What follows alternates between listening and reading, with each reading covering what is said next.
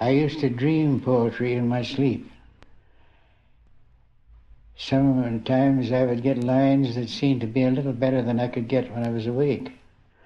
One uh, time, about 10 days before Easter, an editor who had been giving me a good deal of publicity, he was editor of a newspaper, and I didn't write for newspapers.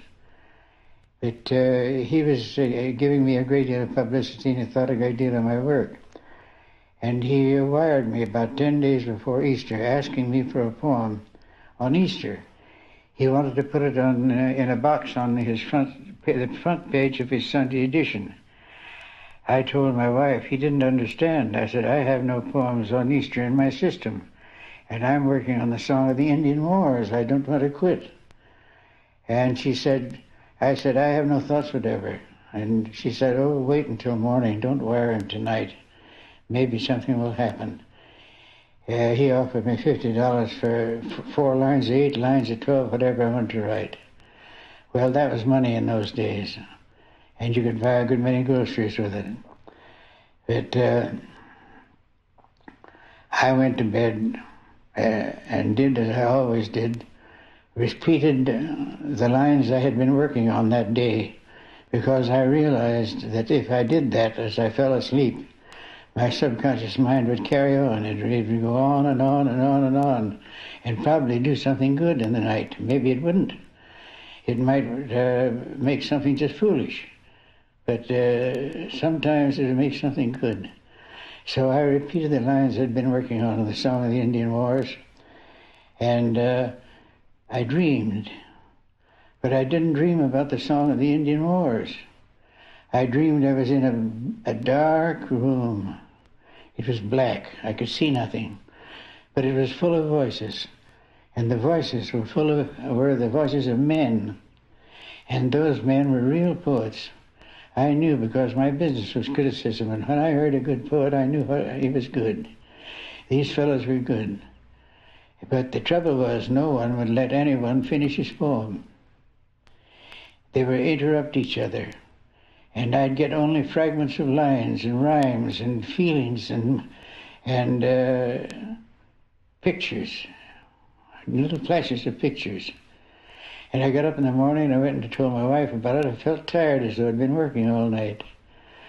And I told my wife, and she said, Can't you put those pieces together? I said, No, they are not related. It's all like colored rags in a rag bag. They don't belong together. And uh, I said, anyway, I'm working on the Song of the Indian Wars. And uh, I went into my study as usual. And as my custom was, I began by reading a hundred lines back to get a running start again, to get a running start. Hundred lines back so that they would knit in together and all flow like a stream. And uh, I pulled my hundred lines back and began to read them. I didn't know what I was reading. It just sounded like nonsense. And I'd push it back and pull another hundred lines out and read. Didn't seem to mean anything. I'd feel those pieces trying to come together in, back in my head someplace. Pieces that I dreamed trying to come together, and they weren't making sense. And I got up and I went out to breakfast and I told my wife about it. And uh, she said, Can't you put those pieces together? And uh, I said I didn't think I could, and I went back into my study and uh, tried to uh, tried to make some sense out of the hundred lines. There was no sense. Finally, I just pushed those lines back and began to put in those pieces together, and uh, they clung pretty well. And got so they just fell into place. And I went out and read it to my wife. It's one of my best poems. It wasn't more than 15 or 20 minutes till uh, I had it finished.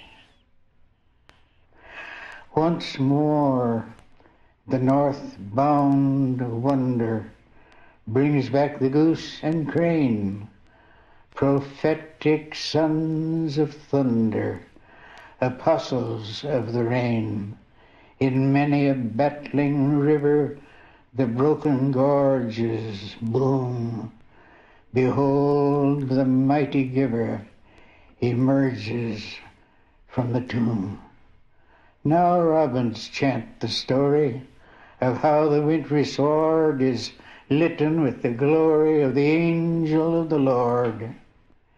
His countenance is lightning, and still his robe is snow, as when the dawn was brightening two thousand years ago. Oh, who can be a stranger to what has come to pass? The pity of the manger is mighty in the grass.